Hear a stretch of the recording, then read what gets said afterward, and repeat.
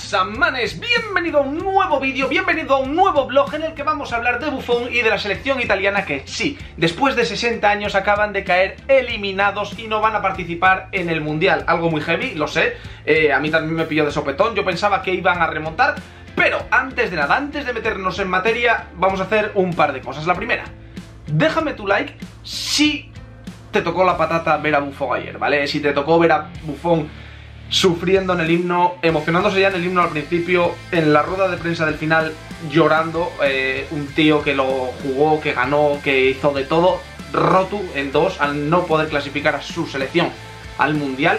Y otra cosa que quiero hacer, ¿vale? Una cosa que quiero hacer y que voy a empezar a hacer en más de un vídeo, o sea que estar atentos.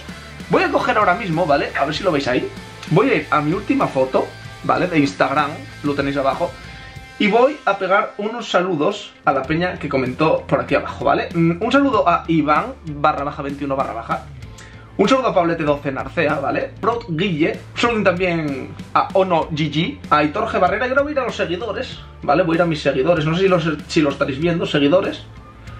Voy a hacer así, pa. Un saludo a Luis Antonio, a Alfonso José, José Luis Areces, a Torín745, Pablo Torga Mladinic, a Álvaro Ghost 9 YouTube. Así, venga, saludaos de mi parte, ¿vale? Por seguirme en Instagram. Necesito, y os lo comenté varias veces, llegar a 10.000 en Instagram para poder tener eso de deslizar. Así que por favor seguidme y quién sabe, si me dais like y comentáis en la última foto que tenga, puede ser que en la próxima pues os pegue un saludín desde aquí, así, de colegueo.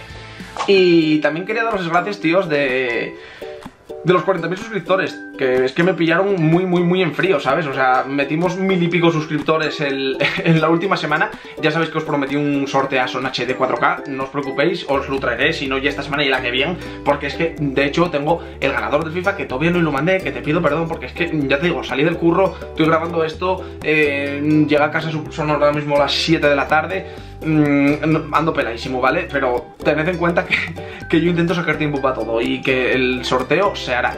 El, tanto el enviar el que ya está como el que os prometí de una equipación, ¿vale? O sea que suscribíos y activar la campana para no perderos ninguno. Ahora sí que sí, vamos ya con el tema y con lo que nos concierne, que llegue la selección italiana, Buffon y demás. Ayer, Italia no fue capaz a remontar en casa. Antes de que nos metamos a mi opinión, antes de que nos metamos a mi valoración, voy a deciros algunas cosas clave que tengo aquí apuntadas, ¿vale? Y que hay que tener en consideración, o que yo por lo menos creo que son bastante importantes. Lo primero, que Italia no se perdía un mundial, ¿vale? Desde 1958, que casualmente ese mundial no lo jugó y se celebró en Suecia, que fueron los que ayer lo eliminaron, ¿vale? Mm, no sé si será una cosa casualidad o lo que queráis, pero ahí está. Anteriormente se habían perdido también el de 1930 y habían ganado cuatro mundiales. Ya sabéis que Italia tiene cuatro mundiales ganados, ¿no? Pues bueno, 60 años sin mundial y ahora Italia no va a participar en el de Rusia 2018. Os iré poniendo ahora mismo, pues por ejemplo, por aquí arriba, ¿vale? Eh, imágenes que, bueno, pues que pillé, que me llamaron la atención. La primera, Buffon en el himno de Suecia. Todos han sido pitaba ese himno y Buffon se puso a aplaudirlo, ¿vale? En plan de... Una cosa y el fútbol, otra cosa y es respetar los himnos de los países. Me parece brutal, al igual que me parece brutal como canto Italia el himno, ¿vale? O sea, increíble como canto el himno. Los pelos de punta porque se ve que, vamos, que también metidísimos, Bonucci loquísimo, Buffon con la lágrima asomando, bueno, y, increíble. Otra cosa, la excepcional actitud del árbitro, ¿vale? Mateo Laoz, lamentable, Gil Manzano de cuarto árbitro, pues ¿qué más queréis? Que en esta jugada que os voy a poner básicamente es como un penalti, eso ya de un penalti de un rodillazo en las costillas, pero increíble, pero increíble, ¿eh? Penalti que vamos, que podría haber cambiado la tónica del partido, pero también dicen que se comió otros cuatro por ahí entre penaltis a Italia y penaltis a Suecia, o sea que penoso, penoso. La entrevista de, de Buffon, rompe a llorar, tío. Rompe a llorar porque no fue capaz de clasificar a su selección para el Mundial. Y rompe a llorar increíble. Porque aparte se estaba despidiendo de la selección. Ya sabéis que dijo que él eh, ahora solo seguiría en el fútbol si consigue ganar la Champions con la Juve. Ya es difícil, evidentemente, pero con la selección sí que dijo ya que hay que dejar un cambio generacional. Al igual que ir pensando, chicos, que no vamos a ver más ni a De Rossi, ni a Barsagli, ni a Chiellini. Eh, no sé cuántos más caerán, eh, pero va a haber un cambio generacional en Italia muy, muy, muy heavy. Y pensar que son piezas clave, porque vamos, Buffon, Chiellini, Barzagli, De Rossi Este año se retiró también Pirlo, el año pasado se retiró Totti. Llegó como el fin de una, una era, ¿no? En Italia, una cosa que, que, bueno, tal.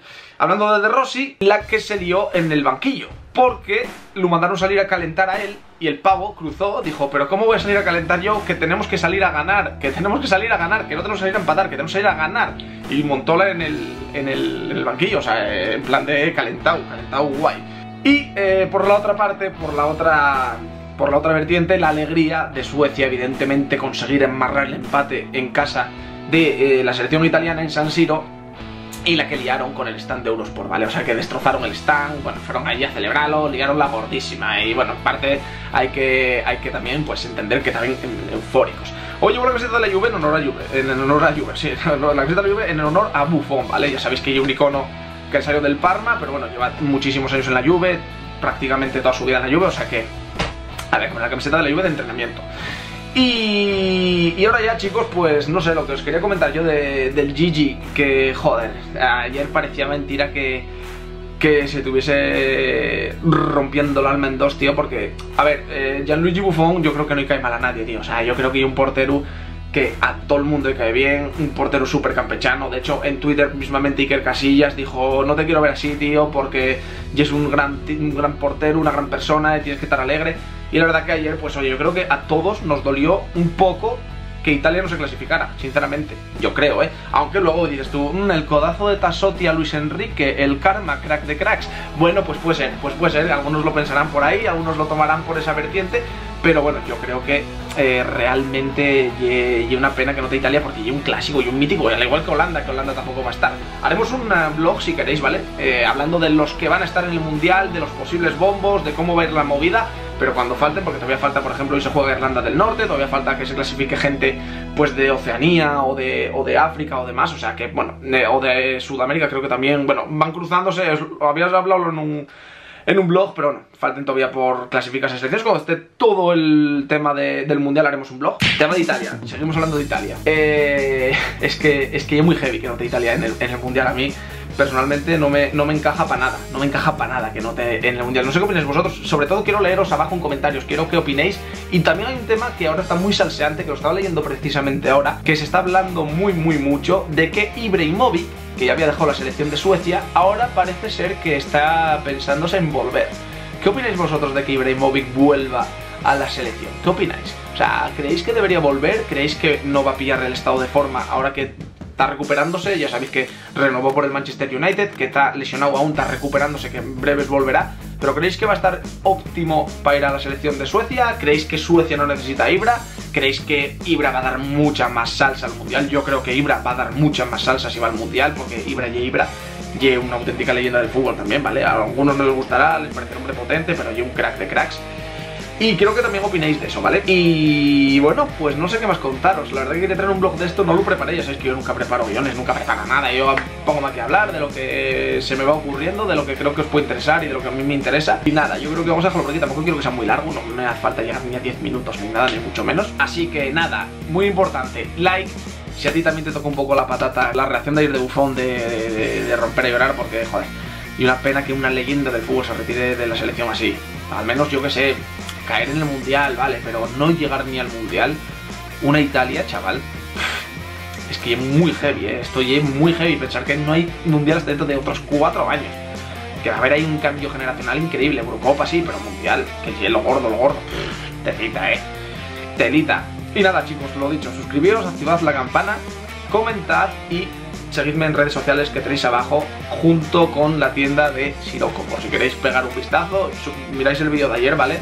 Que, os enseño camiseta, sudadera y tal, y tenéis gafas de sol y demás, o sea que pegar un ojo por ahí. Y nada, yo por aquí me despido, cracks, muchísimas gracias a todos, ya somos 40.000 aquí, parece mentira que, fue ayer cuando decíamos, no, ya tenemos 30.000 que llenamos el Molinón, pues ahora ya llenamos el Molinón y parte de la escuela de fútbol del Sporting. Así que nada, nos vemos en próximos vídeos, nos vemos en próximos vlogs, un brazo crack de crick, de croc, de crack, de crook, y adelante y adelante.